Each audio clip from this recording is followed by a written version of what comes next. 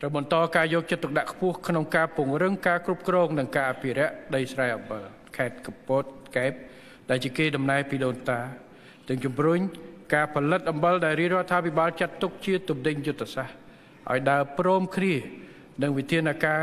ដោះស្រាយបញ្ហាដីស្រែអំបិលដែលមិនមានសក្តានុពលទី8ក្រសួងស្ថាប័នរដ្ឋាភិបាលថ្នាក់រដ្ឋបាលថ្នាក់ក្រោមជាតិនិងភាគីពាក់ព័ន្ធ ត្រូវសហការជាមួយក្រសួងឧស្សាហកម្មវិទ្យាសាស្ត្របច្ចេកវិទ្យានិងនវានុវត្តន៍អំពីច្បាប់ស្តីពីការគ្រប់គ្រងទឹកស្អាត ដើម្បីឲ្យការផ្គត់ផ្គង់ទឹកស្អាតសម្រេចបានលក្ខខណ្ឌគោលដៅទាំង4គោលទាំង4គឺគុណភាពសវត្ថភាពនិរន្តរភាព និងថ្លៃសមរម្យក្រសួងឧស្សាហកម្មវិទ្យាសាស្ត្របច្ចេកវិទ្យានិងនវានុវត្តន៍ត្រូវបន្តពង្រីកវិសាលភាពនៃការផ្គត់ផ្គង់ទឹកស្អាតតាមបំពង់ជូនប្រជាពលរដ្ឋ ទាំងនៅទីប្រជុំជននិងជនបទដែលពង្រឹងការលើកទឹកចិត្តដល់ការវិនិយោគផលិតទឹកស្អាតខ្នាតធំឬមធ្យមដើម្បីជួយទ្រទ្រង់តំបន់ដែលប្រឈមនឹងការខ្វះប្រភពទឹកឬខ្វះធនធានហិរញ្ញវត្ថុ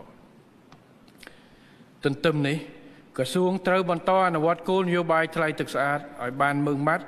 តែទន់ភ្លន់ជាមួយនឹងការគិតគូរដល់ភាពសុខដុមរមណីយកម្មរវាងអ្នកផលិតនិងអ្នកប្រើប្រាស់ហើយត្រូវ ផ្ដល់អាទិភាពដល់ប្រជាជនក្រីក្រដែលមានជីវភាពខ្សត់ខ្សោយរួមទាំងបងប្អូនកម្មករនិងសិស្សនិស្សិតដែលស្នាក់នៅតាមបន្ទប់ជួលក្នុងការទទួលបានថ្លៃទឹកស្អាតពួយសមរម្យលើសពីនេះត្រូវជំរុញការរៀបចំបង្កើតនិយត្តករទឹកស្អាតដើម្បីពង្រឹងនិយត្តកម្មនិងអញ្ញាប័ណ្ណនិងពន្លឿនការរៀបចំអនុក្រឹត្យស្ដីពីការរៀបចំនិងការប្រព្រឹត្តទៅរបស់មូលមូលនិធិអភិវឌ្ឍវិស័យទឹកស្អាត ដើម្បីផ្ដល់លទ្ធភាពបន្ថែមទៀតការជួយអន្តរាគមន៍ដល់ការផ្គត់ផ្គង់ទឹកស្អាតនៅកន្លែងដែលជួបការលំបាកខ្លាំងឬជួយសម្រួលនឹងការគ្រប់គ្រង